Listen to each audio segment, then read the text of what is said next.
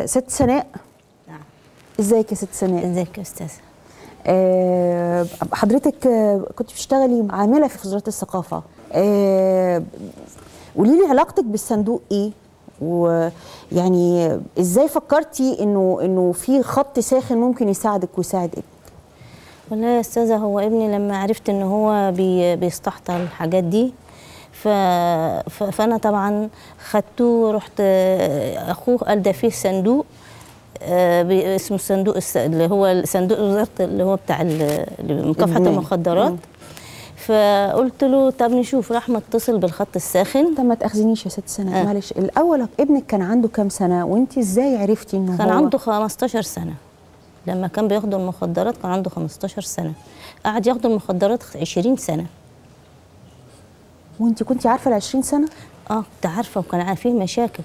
كان بيعمل لي مشاكل وكل ليلة واحد واتنين يجي يخبطوا عليا. يقولوا لي ان إن ابن إن ابنك خد كذا ابنك عمل كذا ابنك عمل خناقة ابنك آه ابنك ابنك آه خد مننا حاجة مد إيده. وكان أغلبية مد إيده كان ياخد حاجة البيت وحاجة حاجة أخواته وهو. فطبعا وكان بياخد مني. وآخر حاجة ويعني وآخر حاجة بقى اللي هي جرحتنا قوي موضوع البيت اللي هو مضوه آه، جيران وخدوا البيت خدوا مننا بيتنا. مين وإيه علاقة البيت بال باع البيت نفسه. آه ما هو باع البيت باع البيت عشان ياخد فلوس عشان يشرب مخدرات. عملتي إيه بقى لما عرفتي؟ أنا ع- يعني أنا كان كل همي إن ابني ما يضيعش أكتر ما هو ضايع لأنه هو كان ضايع كان ضايع فعلا. كان ضايع مضيع أخواته ومضيع آه، أهله ومضيع أخواته البنات.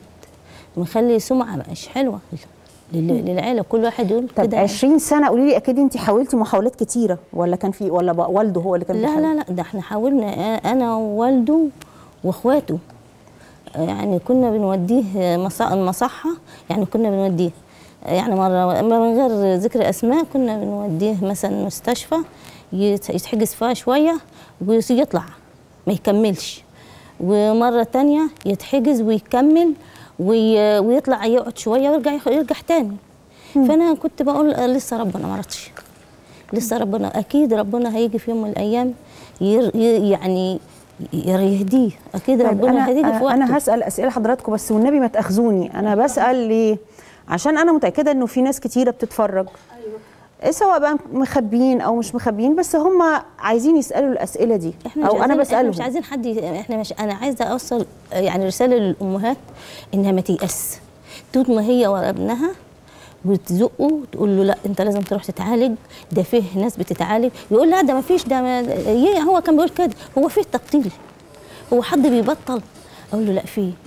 لو أنت عندك عزيمة وعايز تبطل خلي من جواك إن أنت عايز تبطل.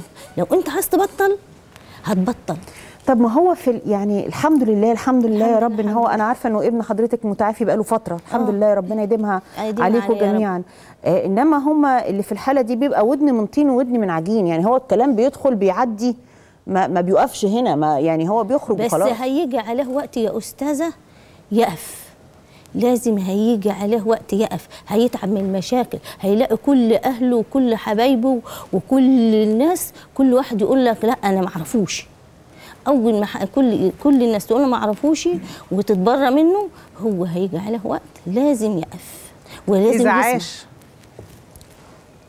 إذا عاش لحد ما يوقف. إذا في عاش. ناس كتير بتفقد حياتها آه والمخدرات بتقضي عليها. وإحنا احد رسائلنا التوعوية المهمة ان آه، ان المخدرات ممكن تقضي على حياتك. هي مش بس بتقضي على حياة اللي حواليك ولكن آه فكرة انه ضروري هيجي يوم عليه ويبطل دي ده اذا عاش. أو بيدمر ناس تانية جنبيه. بالتأكيد.